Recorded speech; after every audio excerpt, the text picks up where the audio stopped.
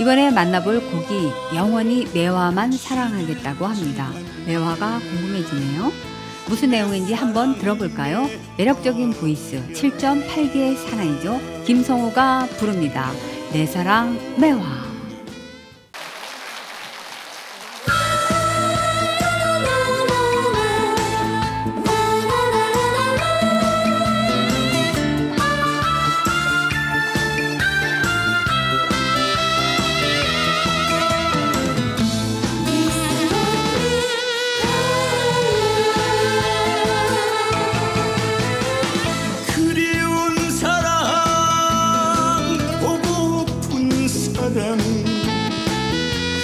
saranno